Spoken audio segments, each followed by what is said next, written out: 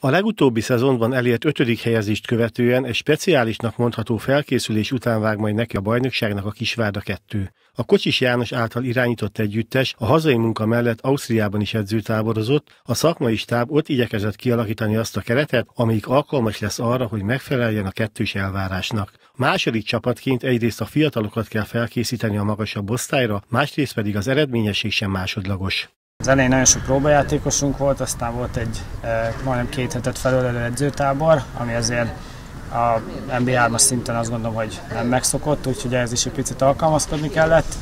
Illetve voltak olyan játékosok, akik a rájátszás miatt, meg a, a, az akadémián szünet miatt egy picit később csatlakoztak, tehát emiatt azért különlegesnek mondható, és természetesen az edzőpartnerek is adnak egy kis különlegességet a dolognak, hiszen három osztrák és három szlovák csapattal játszottunk, de egyébként is én azt hallottam itt mindig, hogy külföldi partnerekkel kell készülni a bajnokságra, úgyhogy mi ebbe a, a szezonban szerintem ennek tökéletesen megfeleltünk, és, és bizony benne, hogy a bajnoki meccsen ez kamatozni fog.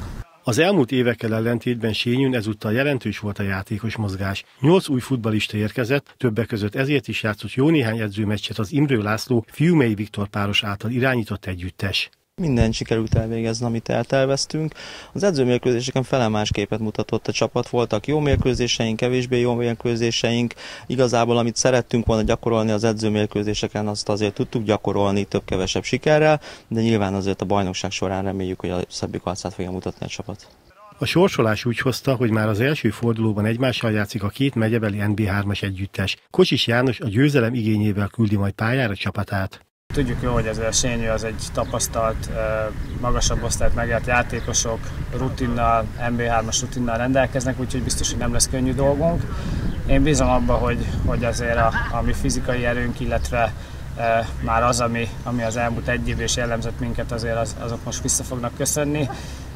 Annak is függvénye természetesen, hogy az első csapattól ki fog jönni esetleg hozzánk játszani, de, de bárhogy is alakuljon, tehát nekünk hazai pályán egyértelműen győzelemre fogunk törekedni, és, és tényleg megpróbáljuk itt tartani a három pontot.